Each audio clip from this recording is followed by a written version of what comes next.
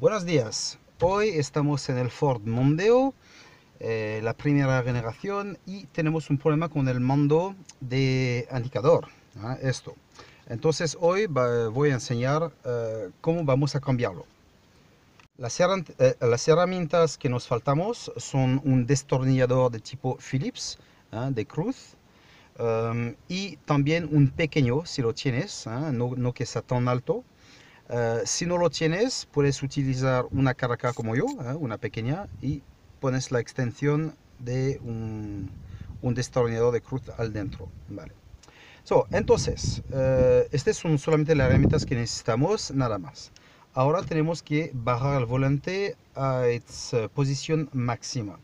Debajo por la izquierda a un, algo que se puede ¿vale? mover y podemos bajar el volante a su máximo y después lo bloqueamos.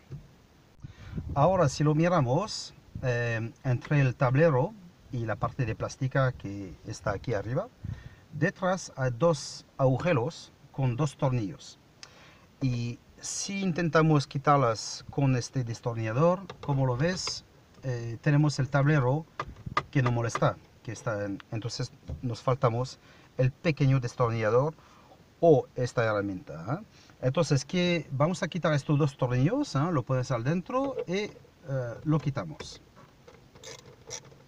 Ahora he quitado los dos tornillos, solo me falta eh, quitar la tapa que está detrás del volante. Eh, si lo levantas, puede ser que se va a enganchar en este, porque de ambos lados tenemos esta gomita. Y como lo ves, la tapa se pone al dentro eh, de esta parte. se puede, puede, ser que se va a enganchar, entonces lo ayudamos un poquito. ¿eh? Como lo ves aquí sale bien, del otro lado está un poquito enganchado, lo ayudo un poquito y ya está, está fuera. Ahora que está fuera de todo, tiramos la tapa por dentro del, del volante y tiene que salir perfectamente. Ya. Ahora está todo libre. Ahora tenemos que quitar el indicador. Eh, de la culpa del sol no estoy seguro que vamos a verlo entonces voy a enseñarle en la otra pieza que tengo aquí ¿eh? si la meto aquí em, y si lo ves arriba ¿eh? que es, es, esta parte hay como una, una pieza pequeñita que se puede estirar del centro por la izquierda así entonces voy a hacerlo de este lado y normalmente vas a ver que la pieza se desengancha y se levanta. Lo hacemos. Tac, ¿has visto? Pues ahora normalmente está libre y la quitamos. Muy bien. Ahora tenemos que quitarlo el cable. Eh, pues trabajar con el sol no está muy fácil porque las cosas no se ve bien. Pero eh, voy a intentar enseñarle. Hay los cables que están aquí. ¿Vale? ¿Lo ves? Y la pieza se engancha al dentro y aquí al lado, por la parte izquierda, a un, a un clip. ¿eh? Solo aprieta con la mano, aquí lo hago con, con el destornillador por facilidad de la, de la video, ¿vale? Eh, lo aprieta y mira, sale automáticamente, ¿vale? Y ahora tenemos la pieza libre. Voy a intentar enseñar cómo funciona. ¿Sí? Como lo ves, se engancha aquí. Se pone, esta parte se pone al dentro de la pieza y después se engancha con este eh, un, clip otra vez ¿eh? es una pieza de plástico. Ahora vamos a montar la pieza nueva ¿eh? entonces este lado primero claro lo siento por el sol mucho es un desastre. Solo lo podemos aquí primero. Y después se engancha por sí solo tenemos que oír un ruido un clic clac, ¿eh? solo he oído, no sé si usted lo ha oído también. Ahora lo ponemos en su sitio, que está más o menos bien, y lo apretamos. Otra vez, este va a hacer un ruido, clic, ¿eh? como se ha enganchado.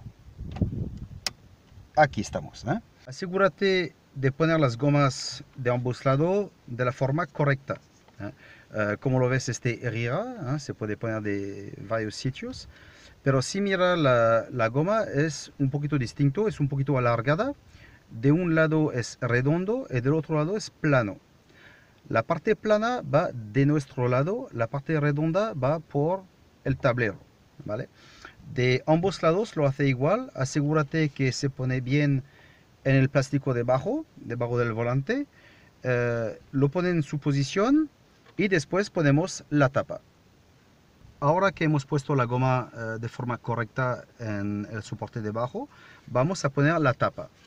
Eh, la tapa la pongo por arriba esta vez, no por dentro del volante. La pongo en un ángulo y normalmente va a bajar bien. Como lo ves, no hay que tener nada que lo molesta. ¿eh? Nunca tiene que forzar en la pieza, nunca.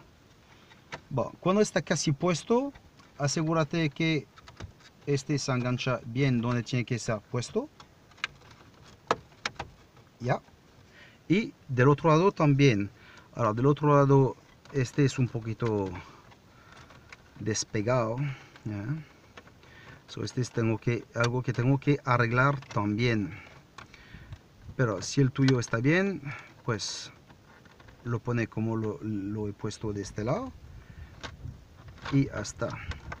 Cuando, cuando está puesto, bien puesto, pones los dos tornillos y ya el trabajo está terminado.